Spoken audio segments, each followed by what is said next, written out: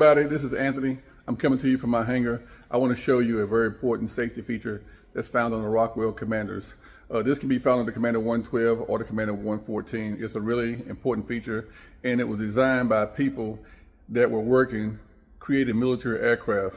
And so they had a lot of knowledge about safety features. And what they did was they did something very special. And I'm, I want to show it to you right now. And uh, what they did was they designed a feature that all aircraft should have. I don't know why they don't, but it's a light that illuminates the steps.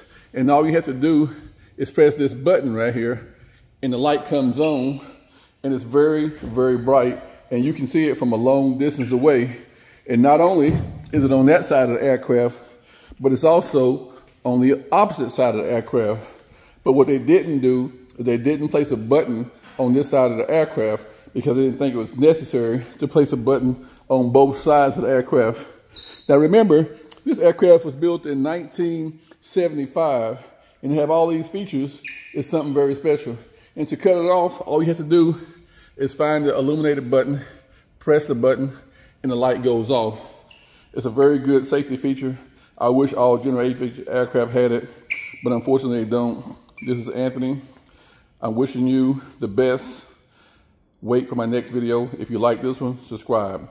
Thank you.